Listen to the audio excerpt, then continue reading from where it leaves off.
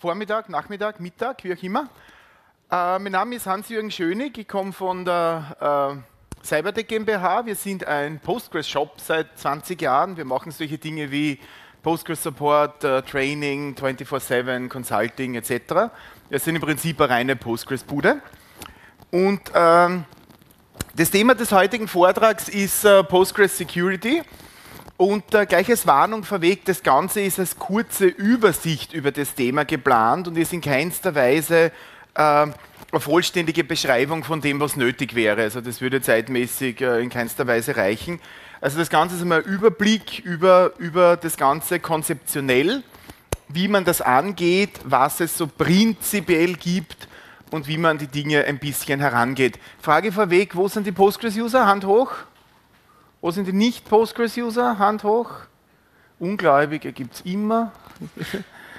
so, gut, ja.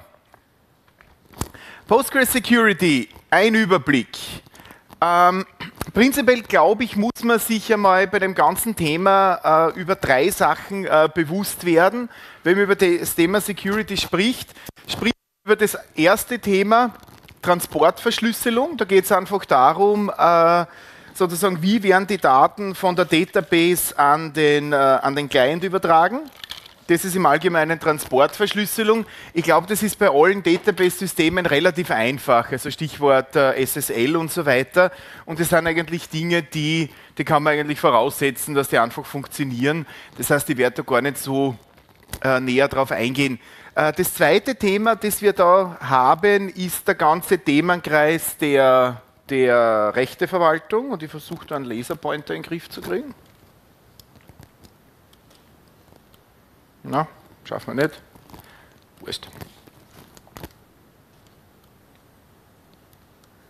Na, das wird nichts.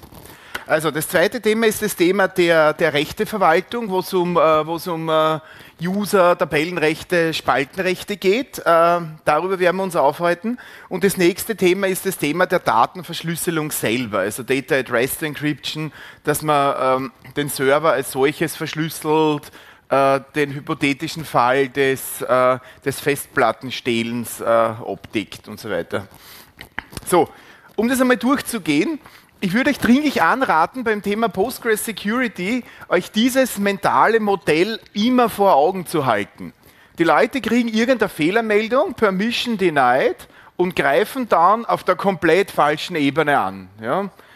Also die Leute kriegen einen Fehler, konnte Tabelle nicht anlegen, äh, schematisch gesprochen, und versuchen dann auf Database-Ebene irgendwelche Dinge zu fixen. Auf der Ebene entsteht der Fehler aber nicht. Ja? Also wenn ihr mit Postgres-Berechtigungen arbeitet, prägt euch ungefähr diese, diese Nahrungskette ein bisschen ein. Ne? Das erste, über das wir reden, sind die Bind-Adressen. Dann geht es um Netzwerkfreigaben. Dann geht es um Instanzrechte, Database-Rechte, Schema-Ebene, Tabellenebene, Spaltenebene und Row-Level-Security. Das heißt, es wird immer feiner. Man kann sich das so vorstellen, wenn jemand versucht, aus dieser Flasche zu trinken, ist es völlig irrelevant, ob er, ob er, ob er, ob er beim Hörsaal reinkommt oder nicht. Das heißt, um zur Flasche zu kommen, muss ich durch die Tür, ich muss in den ersten Stock, ich muss in den Hörsaal, ich muss zum Tisch und erst dann geht es zur Flasche. Das heißt, ob dir die Flasche gehört, ist völlig irrelevant. Du musst mal daher kommen. Nicht. Das ist einfach der Punkt. Ne? Das heißt, ich kann nicht einfach sagen, okay, äh, Grant Select auf, äh, auf alles und dann ist alles gut, sondern du musst, um am Ende des Tages ein Stück Daten lesen zu können, durch diese ganze Nahrungskette durch. Und das ist den meisten Leuten nicht, äh, nicht sonderlich bewusst. Und darum gibt es da schauderlichste Fehler in den, ähm, in den Berechtigungssystemen. Ähm, auf Ebene 1, Bind-Adressen, das ist quasi der Hauptschalter. Ich kann hergehen und sagen, okay, ähm, das Schlimmste, was du tun kannst, wissen alle, die verheiratet sind, ist ja, ja, ja, ja. Nicht? Dann hast du nämlich irgendwann, du hast gesagt. Nicht? Am besten ist gar nicht hinhorchen und gar nicht reagieren. Das ist die beste Strategie. Ähm, und auf Netzwerk umgesetzt sind das Bind-Adressen. Das heißt, in Postgres kann ich einfach sagen, okay, ich horche nur auf lokale Verbindungen, ich horche nur auf ein Netzwerkinterface oder ich horche auf alle. Was dann mit denen passiert, ist ein vollkommen anderes Problem. Also quasi, äh, ob ich dann darf oder nicht, ist ein anderes Problem. Das ist einmal prinzipiell die Frage, höre ich überhaupt hin? Nicht? Wenn im Handy keine Batterie hin ist, drinnen ist, ist völlig egal, ob dir die Nummer gehört oder nicht. Wir hören nicht hin. Ende der Debatte. Und das ist eigentlich der Hauptschalter. Und da gibt es einige Einstellungen. Uh, Listen Addresses uh, setzt quasi diese Bind-Adressen, um einfach quasi Netzwerk zu aktivieren, würde ich mal sagen. Das Ganze läuft dann über einen TCP-Port und ich kann halt die Verbindungen beschränken.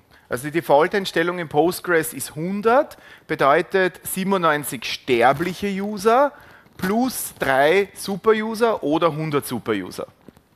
Okay, sie kann quasi 97 sterbliche Verbindungen öffnen und drei sind immer Default-Einstellung äh, Super User Reserved.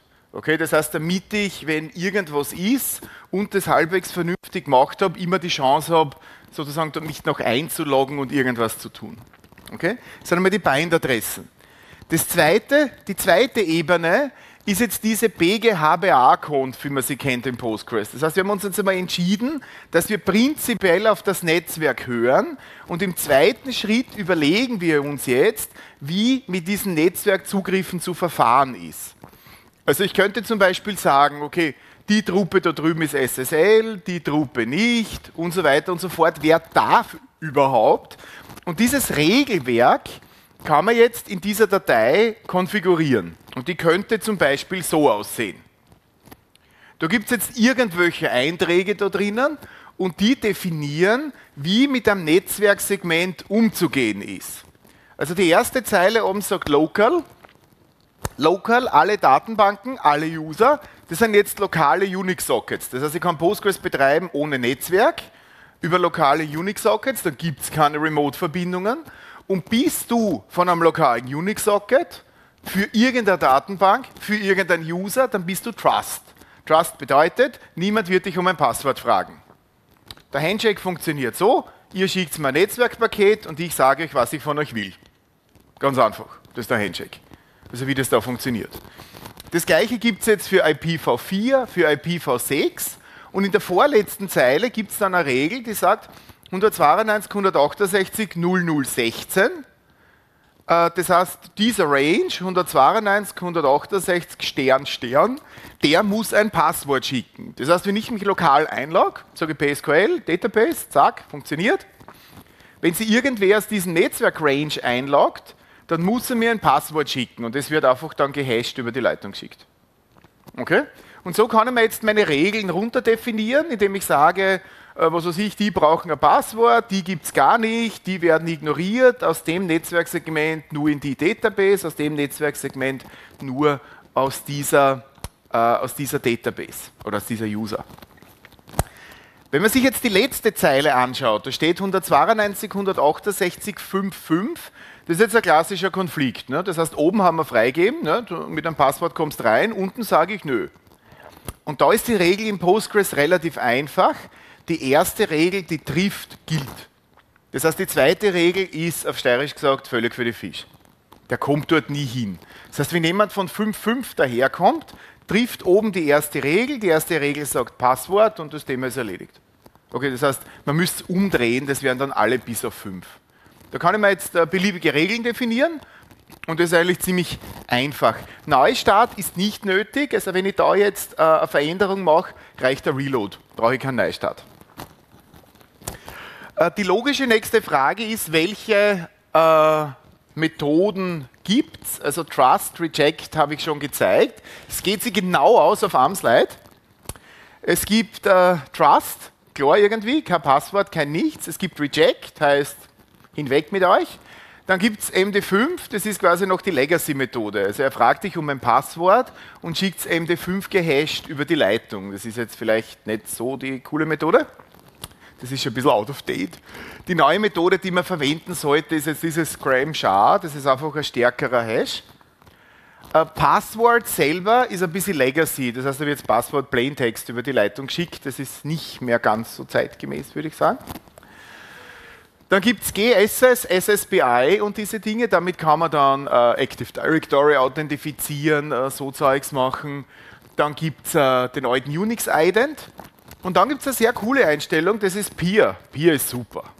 Stellt euch vor, klassisches Konzept. Du hast einen Server, da gibt es ein Postgres-Database und einen Mail-Server. Ja, topmoderne Architektur. Äh, und jetzt gibt es den äh, Mail-Server-Admin, nennen wir ihn der Einfachheit halber Sendmail.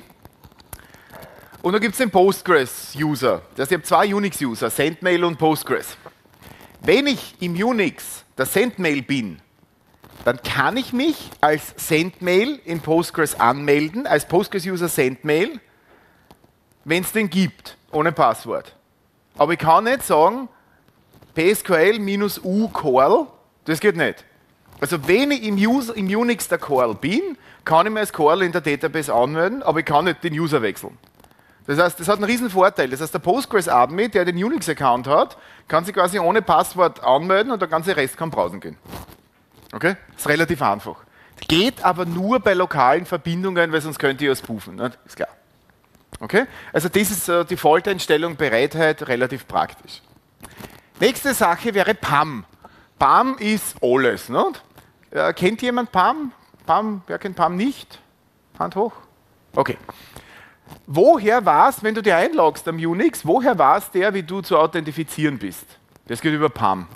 Das heißt, da gibt es ein Config, etc PAM-D und da steht drinnen, wie authentifiziert sich der Drucker, wie authentifiziert sich SSH, wie funktioniert sudo, wie authentifiziert sich keine Ahnung wer. Das hat einen riesen Vorteil. Stell dir vor, es gibt 100 Authentifizierungsmethoden und 1000 Programme. Dann müsstest du 100.000 Schnittstellen schreiben, damit jeder alles kann. Nicht? Das heißt, wenn da irgendwie in irgendeiner Applikation eine Smartcard-Authentifizierung dazukommt, müsst ihr Schnittstelle schreiben. PAM verhindert das. Das heißt, ich kann sagen, PAM kennt alle Schnittstellen und jeder kann PAM. No, da brauche ich quasi nur mehr PAM-Schnittstelle schreiben und schon kann sie jede Applikation, Smartcard, LDAP oder etc. Password oder sonst was authentifizieren. Das ist PAM. Das heißt, wenn jemand Postgres an seine Smartcard anbinden will oder irgendwelche komischen Schlüsselverfahren, PAM ist der Weg. Für PAM gibt es quasi alles. Nicht? Und ich kann Postgres sagen, fragt das PAM-Modul, was zu tun ist. Nicht? So, LDAP Radius und clientseitige Zertifikate sind der Rest. Also ich kann jetzt quasi LDAP fragen. Wichtig ist, es wird nur authentifiziert. Wenn im, User, wenn im User entsteht, ist das Postgres voll wurscht. Okay? Also der User muss in der Database existieren, es ist nur die Authentifizierung. Okay? Es ist wirklich nur die Authentifizierung. So, und das wäre mal die Netzwerkeinstellung. Also wir haben die Bind-Adressen definiert, wir haben HBR-Conf definiert, das heißt, wir, mal sagen, wir sagen mal, die Truppe da drüben, drüben braucht ein Passwort und SSL, die Truppe ist LDAP authentifiziert und die Truppe da drüben existiert gar nicht. Okay, hören wir gar nicht hin, interessiert uns nicht. Und jetzt müssen wir gemäß unseres Modells weiter vorgehen. Das heißt, wir haben jetzt Instanzrechte, Database-Rechte, Schema-Rechte, Tabellenrechte, Spaltenrechte, Row-Level Security und dann der ganze Rest. Okay? Und auf Instanzebene gibt es jetzt einige Dinge, die relativ wichtig sind. Also Instanz in Postgres, quasi einmal starten, auf der Ebene leben die User. Das heißt, der Curl in der WordPress Database ist derselbe Curl wie der in der Sales Database. Das ist derselbe Curl. Okay? Es gibt auf Instanzebene, lebt, hast eh keiner, oder? Okay, gut. Das heißt, äh, auf Instanzebene äh, quasi leben die User und denen werden dann Rechte zugewiesen. Das heißt, diese Dinge leben da oben. Solche Dinge wie Rollen, Table Spaces leben oben. Und der wichtige Punkt ist jetzt, für, speziell jetzt für Oracle und Co. Leute, ähm, User und Rollen sind ident. Das heißt, ich kann sagen Rolle Core Login, ich kann auch sagen Create User Core Login, ist dasselbe. Gibt es keinen Unterschied. Man macht nur sinnigerweise folgendes, dass man hergeht und, den, und quasi sowas wie abstrakte Rollen definiert. Also man, man macht eine Rolle Lager, man macht eine Rolle Sales, man macht eine Rolle Buchhaltung oder so und die weist man dann echten Usern zu. Okay? Also das tut man üblicherweise. Also man macht eine mentale Unterscheidung. Aber Rollen und User sind in Postgres prinzipiell dasselbe. Create User, Create Role ist dasselbe mit leicht anderen Defaults. Aber es steht in derselben Systemtabelle, es ist genau das gleiche. Ja, es macht keinen Unterschied. So. Und auf Instanzebene kann ich jetzt diese Rechte zuweisen. Das heißt, ich kann sagen, du kriegst das Recht, eine Rolle, also einen User anzulegen. Ja? Und dann gibt es die zweite Sache, ist, es gibt ein Recht, zum Beispiel gibt du das Recht, ein Database anzulegen und dann bist du auch der Owner. Es gibt nämlich kein Drop-Recht. Es gibt kein Recht Drop, sondern du darfst nur eigene Sachen kaputt machen. Das heißt, alles, was du besitzt, darfst du droppen. Besitzt du eine Tabelle, darfst du sie droppen. Besitzt du eine Database, darfst du sie droppen. Okay? Und quasi, wenn ich dir das Create-Recht gebe, kannst du ein Database anlegen und in weiterer Folge kannst du sie auch wieder vernichten. Und dann gibt es die zweite Unterscheidung, Super-User, No-Super-User. Das ist in Postgres relativ einfach. Gott darf alles, der Rest darf nichts. Okay? Einfache Unterscheidung. Das heißt, bist du Super-User, darfst du alles, Diskussion beendet. Bist du kein Super-User, darfst du nichts und ich muss dir die Sachen zuweisen. Also sowas wie Gott minus eine Tabelle gibt es nicht. Okay? Sondern entweder großer Chef oder niemand. Ja? Ganz einfache Unterscheidung. Das heißt, hast du das Super-User-Recht, gehst du an den Dingen vorbei, hast du es nicht, muss ich dir alles zuweisen. Einfach.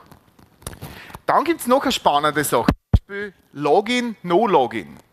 Nehmen wir an, du, du bist Buchhalter. Also nehmen wir an, der Karl hat die Rolle Buchhalter. Dann möchtest du, dass sich jemand als Call anmeldet. Du müsst nicht, dass sich jemand als Buchhalter anmeldet.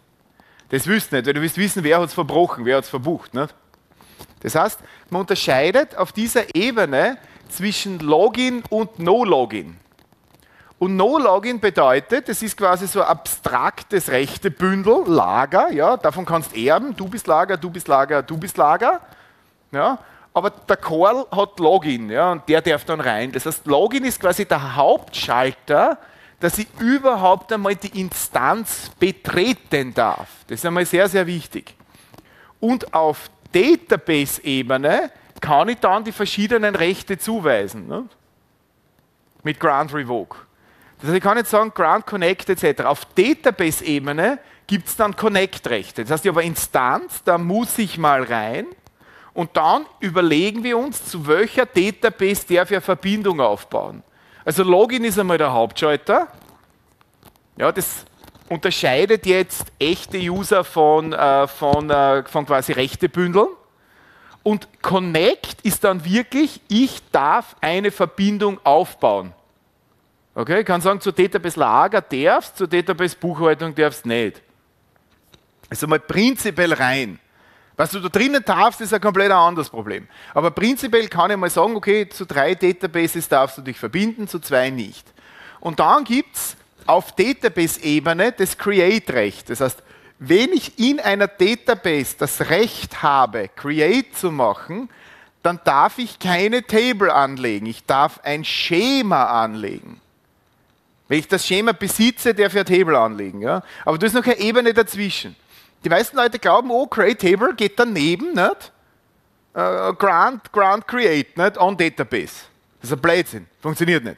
Da ist eine Ebene dazwischen. Das heißt, ich habe in einer Database verschiedene Schemata, das ist wie ein Namespace, und ich muss quasi zuerst in das Schema reinkommen, damit ich dort was tun darf. Okay? Und auf Schema-Ebene gibt es jetzt wieder zwei Rechte, nämlich Create und Usage. Usage heißt, ich darf das Schema betreten, das heißt, ich darf einmal schauen, wer da drin ist überhaupt. Und ein Create-Recht heißt, ich darf da drin dann was erzeugen, eine Funktion, ein Table oder sonst was. Wichtig ist, es gibt keine impliziten Rechte. Du kannst ein Create-Recht haben ohne Usage. Das ist irgendwie Fahrt dann. Ne? Du kannst da Insert-Rechte haben ohne Select. Das heißt, du kannst einfügen, ohne dass du den Datensatz je wieder sehen wirst. Ne? Es geht schon. Da gibt es da gibt's Dinge, wo das Sinn macht. Zum Beispiel bei der Auditierung. Du sollst nicht wissen, was ich mitschreibe über die, nicht? Okay? Und jetzt geht es auf Tabellenebene. Das heißt, auf Tabellenebene ist eigentlich dort, wo die meisten Rechte vergeben werden. Da gibt es jetzt Insert, Update, Delete, Truncate, References und Trigger. Was Select bedeutet, ist irgendwie klar. Was Insert bedeutet, ist auch klar. Update ist klar. Bei Delete und Truncate gibt es einen Unterschied. Wieso? Truncate macht einen Table Lock, Delete nicht. Delete macht Zeilenlogs. Das heißt, wenn ich 100 Millionen Zeilen lösche, kann jemand trotzdem in der Zeit nur eine Zeile einfügen. Ja? Truncate ist ein Table Lock, da passiert gar nichts mehr, dann ist Schluss im Laden. Das heißt, es sind getrennte Rechte. References ist auch ein sehr cooles Recht. References erlaubt mir, dass ich einen Foreign Key mache auf ein Table, ohne die lesen zu dürfen. Wieso? Stellt euch vor, ihr kriegt jetzt äh, eine medizinische Diagnose. Patient 4711, chronischer Schwachsinn, wird sterben. Ja?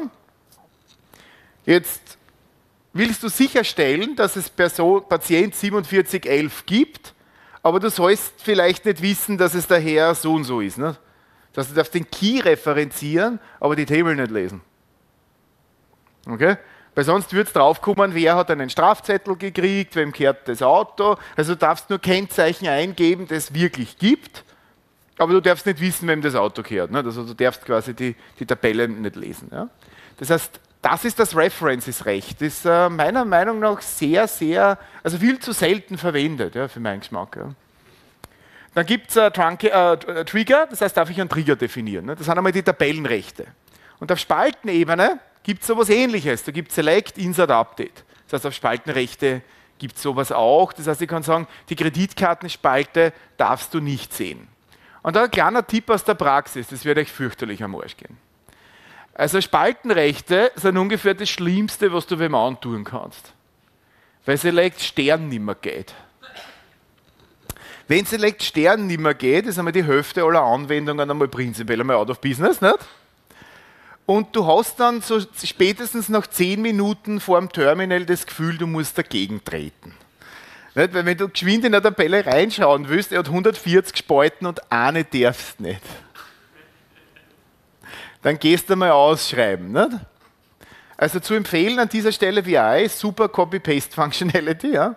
aber ansonsten du kriegst mit Spaltenrechten kriegst du nach drei Minuten das Gefühl, du musst gegen ein Bildschirm treten, ja, weil du keine Daten mehr kriegst. Ja. Also tut das wirklich nur Leuten an, die es nicht leiden können. Ja. Also das ist wirklich grausam ohne Ende. Ja. Gut, so, jetzt haben wir folgendes Problem. Rechte vergeben ist Arbeit, wir suchen keine Arbeit, wir suchen Einkommen. Nicht? Das heißt, äh, in diesem Sinne Default-Rechte. Nicht? Die hocken muss wer anderer machen. Zuerst eine andere Kleinigkeit, bevor wir die Default-Rechte angeben. Es gibt äh, in Postgres sowas ähnliches wie Unix World. Das heißt Public, quasi die Weltöffentlichkeit, alle. Das ist, das ist sowas wie eine Rolle, es ist keine Rolle, das kann man nicht umbenennen oder so, das ist einfach da. Das sind alle. Und alle haben defaultmäßig eine ziemlich blöde Eigenschaft. Äh, nämlich, jeder hat Connect-Rechte auf die Database und jeder kann im Public-Schema wüten. Das heißt, du legst eine neue Database an, bedeutet jetzt, dass der neue Kollege sie zu der verbinden kann und im Public-Schema Table anlegen kann. Das ist praktisch zum Entwickeln, das ist praktisch so im Alltag. Ist jetzt vielleicht, wenn das Ganze produktiv geht, nicht so das Mörderding. Das heißt, äh, ich würde euch diese zwei Zeilen, die da unten stehen, irgendwie dringlich ans Herz legen, nämlich revoke all on database from public und revoke all vom public Schema from public. Das sorgt dafür, dass du explizit sagen musst, jawohl, liebe Salesmannschaft, ihr dürft euch verbinden. Jawohl, lieber Karl, du darfst ins Public Schema was reinschreiben. Das heißt, ich würde euch, wenn ihr das professionell betreibt, ähm, irgendwie diese zwei Zeilen irgendwie ans Herz legen, damit da nicht irgendwie, okay, ich habe eh alles abgesichert, wo kommen die 200 Tabellen her? Ne? Und warum kriegt der Typ ein Permission Denied auf ein Database, wo er gar nicht hin soll? Ne? Das sind so die typischen Cases dann. So, und äh, dann gibt es noch, wie bereits angekündigt, die automatisierte Rechtevergabe. Es gibt nämlich so einen Fall. Stellt euch vor, das ist der Buchhaltungsschema, da gibt es 100 Tables und es geht jemand her und sagt, der Einfachheit halber, Grant Select on all tables in Schema. Das ist eine Hilfestellung, damit du nicht sagen musst, Grant A, Grant B, Grant C, Grant D 100 Mal. Nicht? Das ist mühsam. Das heißt, es gibt Grant on all tables in Schema, das ist eine Schleife. Das heißt einfach, alle da drüben dürfen wir lesen. Das ist so lang lustig, solange sich das nicht verändert. Aber es gibt oft solche Dinge wie, alle Buchhalter sollen im Buchhaltungsschema alle Tabellen lesen dürfen. Nicht? Typischer Anwendungsfall. Im Lager sollen alle, weiß ich nicht, ja? Jetzt, wenn Sie jetzt in dem blöden Buchhaltungsschema irgendein Table verändert, ein Spalten dazu kommt, also eher ein Table dazu oder Funktion dazu, dann besteht die sehr hohe Wahrscheinlichkeit, dass jemand vergisst, das Recht zu vergeben. Dann bricht die Applikation in drei Wochen. Nicht jetzt. Create Table geht. Sie bricht in drei Wochen, wenn dann irgendwer in der, in der Applikation auf den neuen Knopf druckt ja, wo diese Table halt dann angegriffen wird, diese 101. Und das ist ein Problem. Alles, was sofort bricht, ist lustig, das kann ich zurückrollen. Alles, was in drei Wochen bricht, ist ein latentes Problem. Nicht? Wenn in drei Wochen jemand steht nicht, bei der Dialyse nicht, und da geht nichts, nicht, dann haben wir es eilig. Nicht? Okay? Ist ein Problem. Das heißt, ich kann jetzt sogenannte Default Privileges vergeben. Funktioniert so. Ich kann sagen, Alter Default Privilege vor Buchhalter, in Schema Buchhaltung und dann sage ich halt Grant, Select, On Table, Function, bla bla bla. Ne? Das heißt, ich kann für Dinge Default-Rechte vergeben. Das heißt, wenn im Schema Buchhaltung eine Tabelle entsteht, dann kriegen die Buchhalter Default-Rechte Select. Punkt. Das heißt, ich reduziere das Problem, dass Dinge verloren gehen können, dass Leute Dinge vergessen und die Applikation dann drei Wochen später bricht, wenn zufällig jemand dann auf diese Table zugreift. Gibt es da Fragen dazu?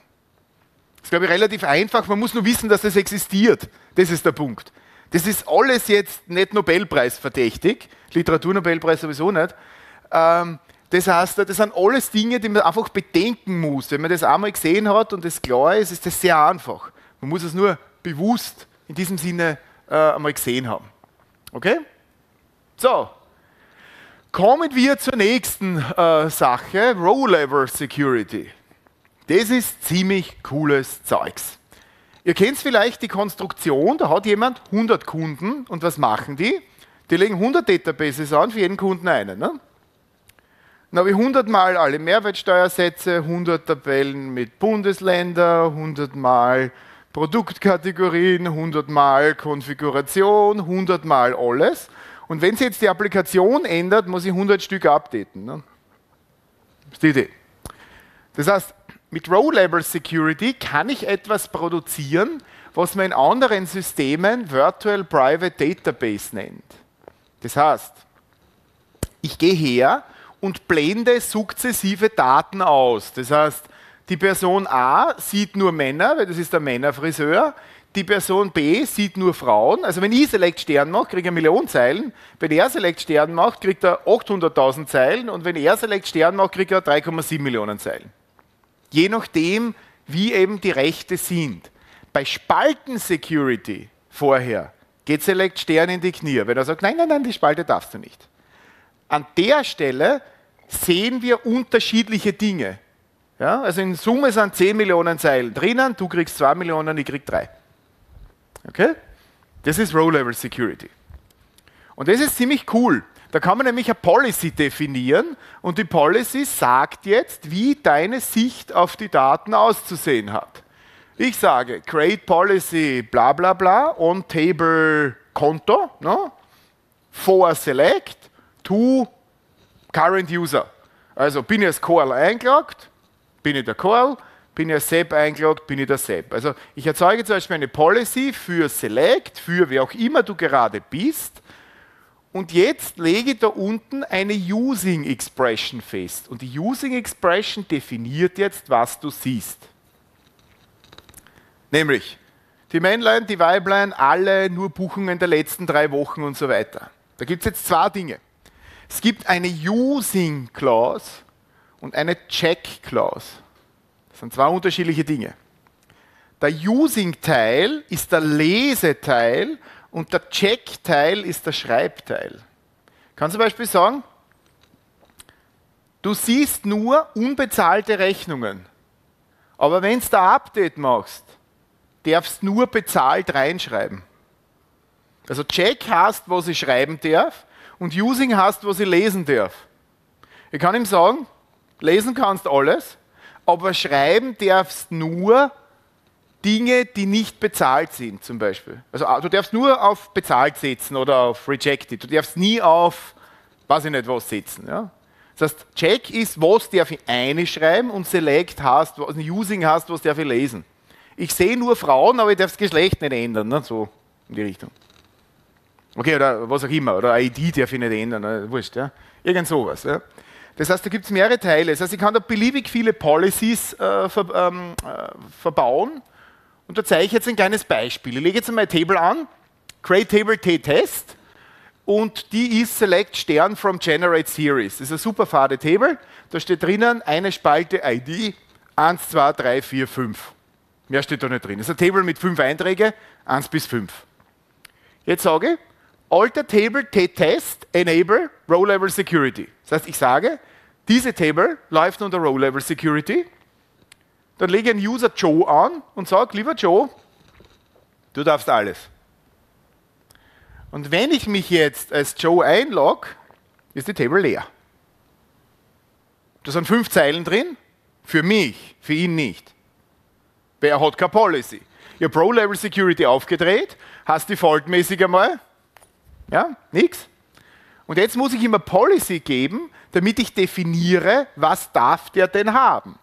Und jetzt kann ich eine sehr einfache Policy definieren.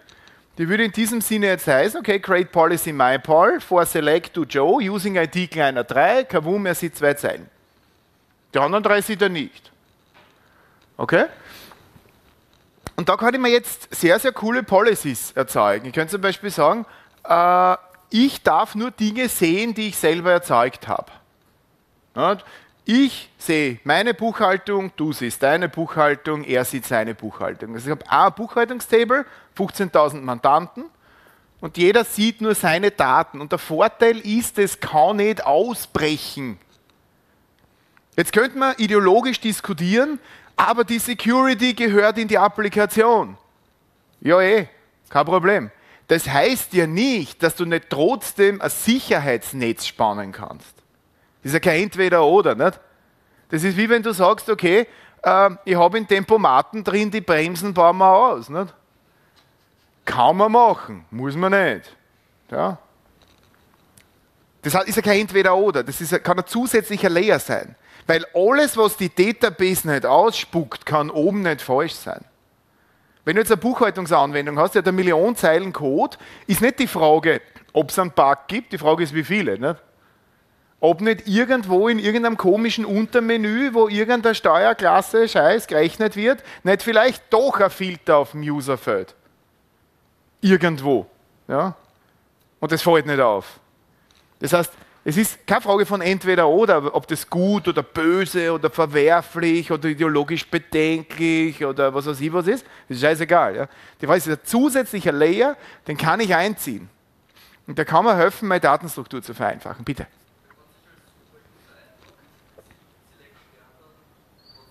Superuser ist Gott. Gott sieht alles. Einfach. Das heißt, es, du kannst dem User das Recht geben, Bypass Row-Level Security. Also ich kann zum sagen, alter User Joe, Bypass Row-Level Security, dann läuft er an dem System vorbei. Aber prinzipiell Super-User läuft am System vorbei. Super-User ist andere Kategorie. Das gilt nur für sterbliches User-Volk. Okay? Und da oben ist, das ist jetzt eine sehr einfache Policy. ID kleiner 3. Ich würde sogar so weit gehen und sagen, die ist sinnlos. Äh, was du da oben tun kannst, du könntest zum Beispiel auch sagen, using Produktkategorie in select, schauen wir nach. Dann wird es nämlich konfigurierbar. Dann habe ich nämlich irgendeine Tabelle, wo drinnen steht, welcher User darf welche Produktkategorien in welchen Filialen. Nicht? Und in der Policy steht drinnen, where Produktkategorie in, select, bla bla bla, where current user. Dann kann ich nämlich konfigurieren, was der sehen darf in irgendeiner GUI. Also diese Dinge sind nicht so hart verdrahtet, wie sie da drinnen stehen. Ich kann durchaus sagen, ID in und die Liste kommt aus irgendeiner Config in irgendeiner anderen Tabelle. Ja, ich kann zum Beispiel konfigurieren, du bis 5000, der bis 3000, der bis 10.000, der nur im Burgenland, der nur in der Steiermark. Okay, also das kann man sehr, sehr flexibel konfigurieren. Das ist sehr, sehr, sehr, sehr cooles Zeugs. Gibt es da Fragen dazu? Ja, bitte. Wenn ich mit Explain ja. die Query dann anschaue, sehe dann, wann das keinen Index verwendet? Das ist, a, das ist wie eine verpflichtende Where-Bedingung. Also du kriegst die Where-Bedingung ID gleich 3 aufgedrückt. Das ist eine verpflichtende Where-Bedingung, die du nicht los wirst. Die siehst du dann im Query Plan und sinnvollerweise ist es so gestaltet, dass es indiziert ist und dass, dass es nicht zu schwierig ist. Du hast diese Where-Bedingung immer dabei. Das heißt, wenn du da ID in, der Wahnsinn bricht aus, dann hast du das überall dabei. Das muss man bedenken. Aber das hättest du in der Applikation ja auch. Nicht? Also vollkommen wurscht. Nicht? Das heißt, äh, in diesem Sinne, es ist nur so, dass diese Dinge von der Ausführungsreihenfolge her, es hängt davon ab, ähm, wenn du zum Beispiel Procedures verwendest, hängt es ein bisschen davon ab, wie die markiert sind. Sind die leak-proof oder nicht? Dann kann der Optimizer Ausführungsreihenfolgen verbessern und so weiter. Das heißt, wenn du nur Männer sehen darfst, theoretisch, und du sagst, where ID gleich 3, dann vertauscht er die Bedingungen. Dann führt er zuerst die ID aus und dann sucht er die Männer in der Hoffnung, dass eh keiner überbleibt. Ne? Also er hat da durchaus die Möglichkeit, diese verpflichtenden Bedingungen zu vertauschen, unter der Annahme, alles ist leak-proof. Langes Thema. Gut, andere Frage? Irgendwas? Irgendwer? Ja, es gibt auf Security auf Functions. Da gibt es nämlich Security Invoker, Security Definer. Nehmen wir an, du rechnest Select Cosinus 10. Dann läuft der Cosinus als du. Wenn du select, sagst Select Kostenabrechnung, dann brauchst du für Kostenabrechnung vielleicht Rechte, die du gar nicht hast irgendwelche Sätze, Berechnungssätze, interne Stundenbewertung, schlag mich dort. Das heißt, du führst effektiv eine Berechnung aus auf Daten, die du nicht siehst. Okay? Das heißt, in dem Fall könntest du die Funktion als Security Definer definieren, dann läuft sie als wer anderer. Dann sagst du Select Abrechnung, dein Select läuft als du, aber nur die Abrechnungsfunktion läuft als der Typ, der das darf. Das ist quasi sudo innerhalb vom SQL. Also ihr kannst quasi, quasi innerhalb von einem Statement mehrere Security-Contexts haben. Ja? Security Invoker, Security Definer. Also eine Funktion läuft als Autor. Ja? Also sage ich Select Abrechnung Tokio, Abrechnung London, Abrechnung Lateinamerika und es könnten drei verschiedene User sein. Weil niemand alles sehen darf zum Beispiel. Nicht? Also die Rohdaten, die in die Funktion laufen. Das ist noch ein Thema. Ja, und dann, wir hoffen, dass wir es in Postgres 13 kriegen, für 12 ist zu spät, äh, sogenannte Data Address Decryption, dass du, wenn du den Server anlegst, musst du einen Key angeben. Damit wird die komplette Instanz auf Blockebene verschlüsselt und du kannst den Server dann nur mehr starten, wenn du irgendwie diesen Key daher hast. Ja? Also über ein Modul, über Integration in einen Schlüsselserver, wie auch immer. Nicht? Das ist dann äh, dem, dem User entsprochen. Ich hoffe, äh, ich hoffe wir kriegen es rein, Postgres 13. Äh, aber wie gesagt, jetzt, wir haben, wir haben Code für 9.6, 10, 11 und so weiter, aber es ist halt noch nicht upstream. Gut, any questions? Zur Druckbetankung Security, Postgres Security in 40 Minuten. Bitte. Seid gemeint. Zuerst fragt er in der ersten Reihe, dann in der letzten und dann wieder vorn. Organisiert euch ein bisschen. Ja. So, danke für den Vortrag. Ähm, eine Frage, wegen, wenn wir es bei Security sind, ähm, kommt dann vielleicht irgendwann einmal auch sowas, dass du ähm, sagen kannst, ich verschlüssel jetzt irgendwie mit Gruppenkryptographie, die nicht dabei dürfen wirklich nur die, die Leute entschlüsseln, die, ähm, keine Ahnung, das SSL-Zertifikat, das Client-Zertifikat oder so haben. Also die Situation ist die, man hat, äh, es gibt Funktionen von einem Skype, äh, ehemaligen Skype-Mitarbeiter, dem Marco Kren, der hat ein Modul geschrieben, heißt BG Crypto. Äh, BG Crypto gibt dir einen Haufen Funktionen, die verschlüsseln können. Du sagst Select Crypt, ne, ABC, dann kommt irgendwas raus. Select MD5 etc. Das heißt, du könntest dir sowas im Userland bauen, ist aber ein bisschen unangenehm, weil du weil du solche Dinge verlierst wie Sortierreihenfolge und so. Ja? Ähm, dass es im Postgres Core auf Tabellenebene sowas gibt, ist nicht ganz trivial. nämlich kryptografisch, kein Problem. Aber du musst bedenken, dass wenn du das Transaction Log mit verkryptest, was passiert bei DDE Encryption, dann muss der andere Kerl drüben das lesen können. Das heißt, du müsstest auf allen Teilen in deinem Cluster, und der kann groß geografisch verteilt und was auch immer sein, hast das Schlüsselmanagement am Arsch. Das heißt, wenn jemand sagt, create encrypted table, da ist mein, da ist mein Key, wie machst du denn das auf deinen Replikaten? Also quasi, wie kriegen die das mit? Wenn ich das, den Key rüberschicke und sage, hey, das ist der Key für das, das und das, ist sinnlos. Ne?